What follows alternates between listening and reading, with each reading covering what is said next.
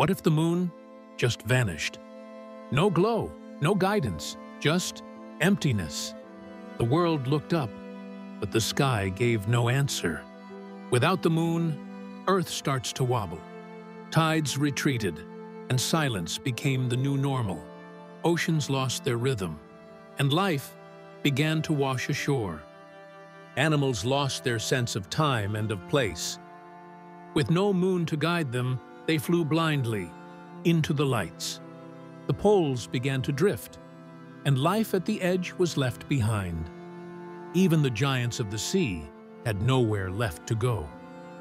Earth's balance tipped, and fire broke loose. Our world trembled, and cities began to fall. Without the moon, the tides had no master. Coastlines crumbled, skylines drowned. Even symbols of hope couldn't rise above the flood. The moon once slowed us down. Now, everything spins faster. We had to reinvent time itself.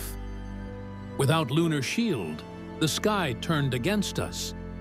We reached for the stars, but forgot what held us up. When logic failed, we turned to old stories.